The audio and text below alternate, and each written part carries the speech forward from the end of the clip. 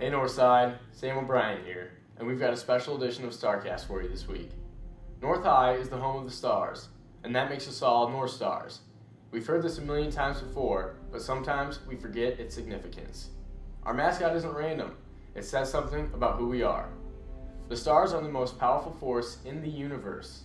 They produce explosions so insanely titanic that they can be seen billions upon billions of light years away.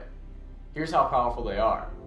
If we covered our entire planet with our most powerful nuclear warheads and continuously exploded them every second for a billion years, the sum total of that energy would be nowhere close to what a star can release in a single second. Stars are powerful, and we are stars. Stars are also full of potential and possibility. Stars create within themselves the building blocks of our universe, atoms. Atoms forged billions of years ago deep within the hearts of the hottest and brightest stars ever created. As these stars took their dying breaths, they exploded, releasing these atoms where they would go on to become moons and planets, water and trees, and even you and me. We literally are stars. And like the stars before us, we are full of potential, bursting with promise and possibility. That's what it means to be a star.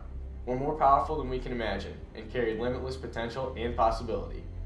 Remember that when we walk through these doors, when we put on the uniform and lace up, when we take the field, step onto the court, walk onto the stage, stand at the starting line, remember, we are full of power and possibility.